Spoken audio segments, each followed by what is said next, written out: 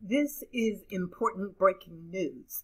It seems that the Iraqis downplayed the number of missiles involved in the rocket attacks on last week on the green zone near the U.S. Embassy.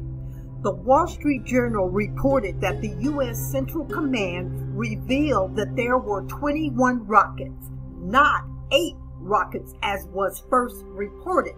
Now, why is this a big deal? Well, first of all, the U.S. anticipated this attack and sent many U.S. Embassy employees home because of the cat and mouse game the Iranian militants had played over the years. And certainly after the tough talk after the death of the Iranian general and then the Iranian nuclear scientist. The 21 rocket attack was the largest rocket attack since 2010 on the Green Zone, which is located in central Baghdad. It always amazes me that the rockets rarely kill people. They are launched, yet loss of life doesn't appear to be the goal.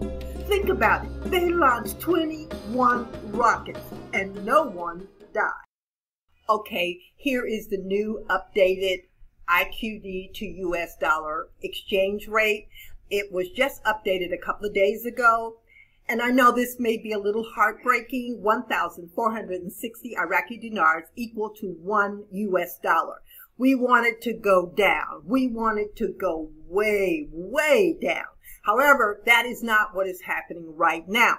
But we have hope that the Iraqi government will turn the corner in the near future.